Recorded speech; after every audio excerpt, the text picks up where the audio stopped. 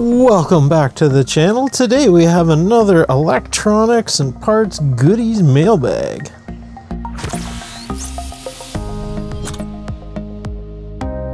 If you're a maker or electronics enthusiast, make sure you check out PCBWay. They can make any circuit board you desire, provide the parts, and even assemble the board for you. They now offer fully transparent tracking on your order so you can see where your project is at from start to finish. Welcome back, guys. I hope you're doing great out there. I hope everyone's coping with the uh, the COVID nineteen crisis uh, well. I hope you and your families are safe. A little bit of a somber time in the world, but I've got more and more goodies arriving by the minute. So let's take a look at some of them. Okay, these parts I need, so I need to do a little bit of a separate mailbag for them because I just want to get them into an airplane. So First out of the bag is a, a, a pitot speed, a pitot-static or pitot airspeed sensor. Jeez, I can't talk today. Um, this is just an air pressure sensor. It measures how fast the air is flowing over the aircraft, which tells us how fast the air is flowing over the wings, which is really handy because GPS speed does not help you keep your plane in the air, especially if you uh, make a turn on a, a downwind turn and you end up stalling the plane out of the sky. Ask me how I know. GPS sensor. These are a wonderful little sensor you, that I use on my iNav aircraft. Okay, this is what I needed. This is the Matek uh, F411 wing. This is uh, a flight controller system um, for small winged aircraft. Um, really quite small compared to the uh, the previous one you saw in my Nano Talon. So we're going to put this into an that AR wing that I showed on a previous mailbag. As well in here, we got a Runcam. This is the Runcam Split 3 Micro. All this stuff came from Get FPV. Uh, I found them to be fantastic. Wonderful company to deal with. Um, I've had no issues. So this is uh, an FPV camera, but also a. Oof, that is ugly. Oh, wow, that cabling is so ugly. Oh, man, oh, man. Seriously?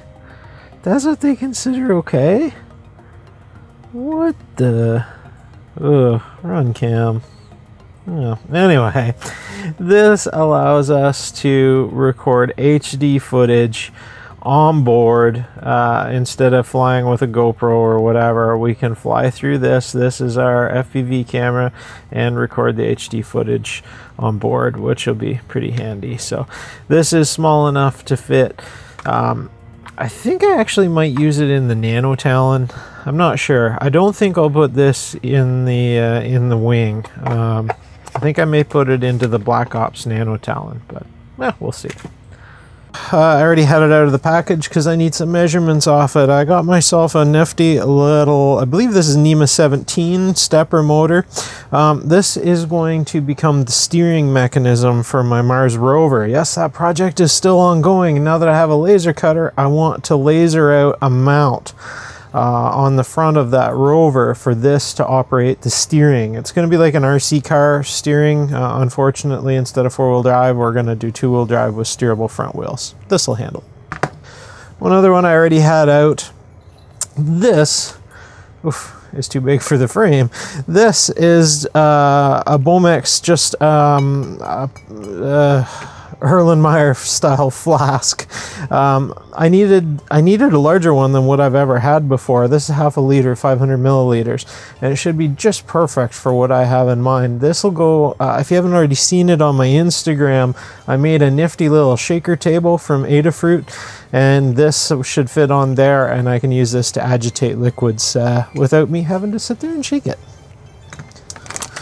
Okay, next up we have what do we have? I actually don't even know what this is. There's two of them. Ah, I recognize it now. This is a cool little motor controller circuit.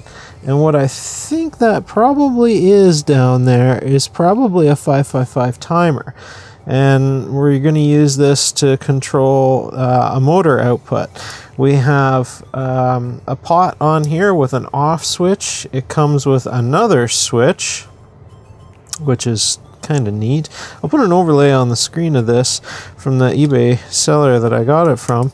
Two position switch and oh yeah, an awesome little knob. That is a cool little rig. Big heatsink. Very, very cool. Neat little rig. Next up, more packaged goodies.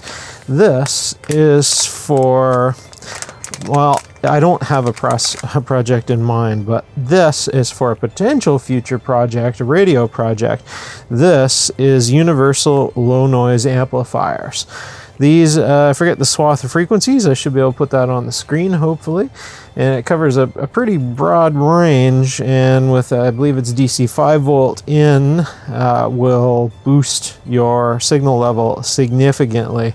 Now, these you can't expect the world. These are not a very, very expensive unit, but uh, we'll give them a go. It uh, what the heck, it should work good. Uh, most often used with satellite signal receiving where you need to boost it. Uh, my Sawbird that I got for the GOES weather satellite receiving that I still have to build, but I'm sidetracked making, uh, making COVID-19 masks right now. When I get that done, the Sawbird filter has one built in and I USB power it. Okay, what else we got? Whole bunch of nifty little electronics packages. These look to be ESP8266s, and I have a buttload of them. I really don't need more, but we got more. This is the Wemos D1 Mini. Uh, it is not the D1 Mini Pro. It doesn't have the external antenna, which I actually have a video upcoming on soon on the channel, but this is just the standard D1 Mini. Wonderful little uh, ESP8266 base microcontroller, 3.3 volt logic level, just fantastic little units.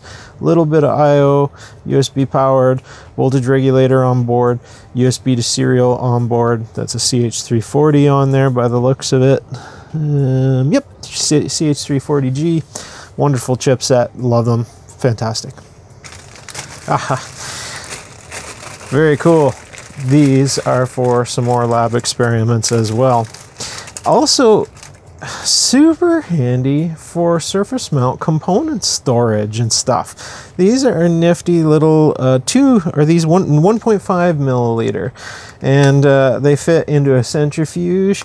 Uh, they fit into anything you want a 3D print to hold them, and uh, you can also put your surface mount parts or whatever components you want in there. Really, really neat. So,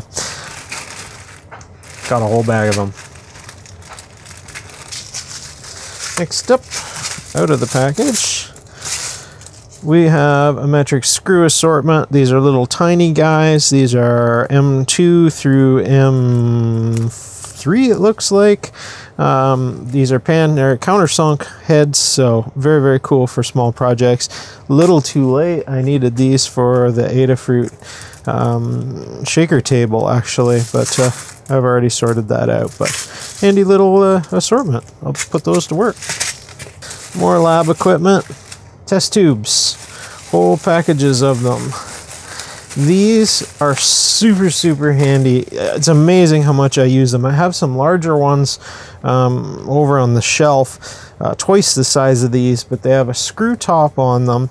These are the rounded bottom ones. I like the square bottom ones better because they'll stand on the bench. But whenever you need to, like, if you need a place to put a bunch of screws or the larger ones I used recently um, to take a, some of my sourdough yeast starter over to my parents' place and, and I was able to give my dad a, a, a sample of my sourdough yeast that's growing. Wonderful things to have around. They're cheap, uh, effective, and you can do some cool lab stuff with them. Okay, this one's bigger one. No idea what's in here. Big package.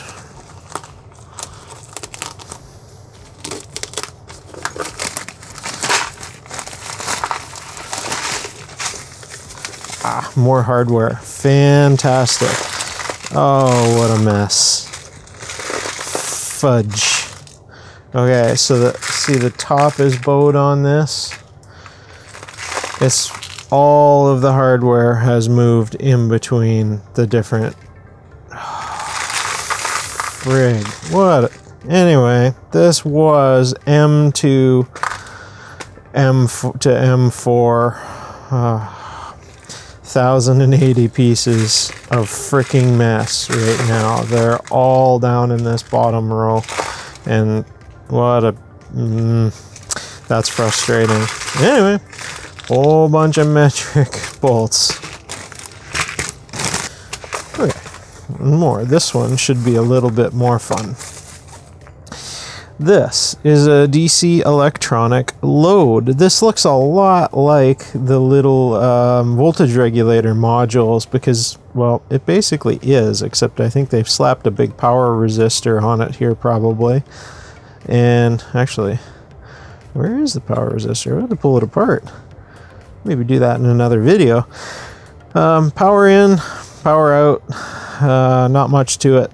L positive, L negative, V positive, V and we can control uh, the load across um, whatever we want. If we want to just draw down a battery or whatever, uh, I think we can set different limits and stuff in here.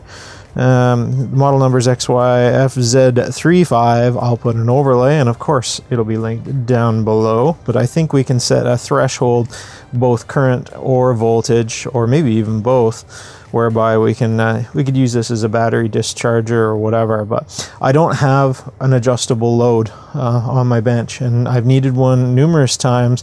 Not critically I always get by. This is a lot easier because we can just dial it in and be a little bit more precise than whacking resistors onto things hope you guys enjoyed. I hope you guys uh, find some of these parts interesting. I know I do. I'd like to get this out. Um, we also have still smoke testing, uh, changing some code on the Urban Kitchen Garden project over there and doing a little bit of work on it. And I was actually just doing some scoping on and off um, just for fun, just to. Uh, ah, just to snoop and refamiliarize myself with some hardware hacking. So, pretty fun stuff. Cheers, guys. Hope you enjoyed these videos. See you next video.